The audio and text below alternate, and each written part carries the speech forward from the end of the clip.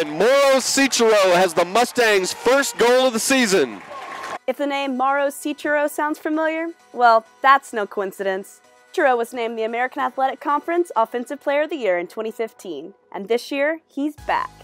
He's grown up a lot over the last three years. Um, you know, he, he, leads more by example than he does by um, by vocal yelling and and you know those sorts of things. His most notable performance so far, his hat trick in the season opener against UC Davis that led SMU to a 3-2 victory.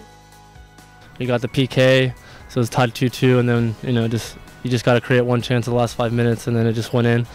So it was really good, you know, for, for me and the whole team to, you know, experience on your first game and start the season well. He knows the performances he lays down will uh, have a direct impact on where he ends up next year. So uh, he came in very focused and prepared for the season, and um, you know it's showing off in the first seven games. So where did these skills come from? Well, soccer success is no secret to the Cichero family.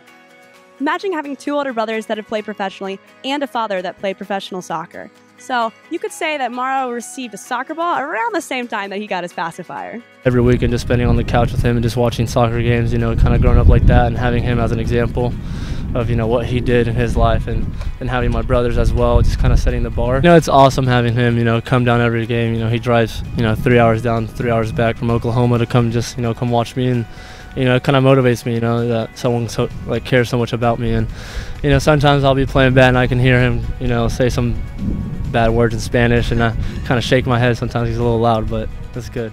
Last year as a junior, Mauro struggled to see that same kind of success, scoring only three goals and one assist. But his senior season so far is showing that the off-season strengthened more than just his soccer skills.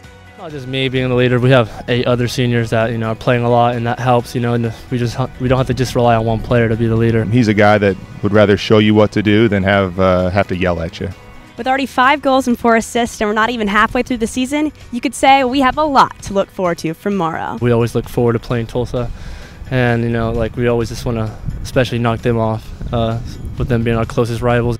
For Campus Connect, this is SMU's Emmakate Few.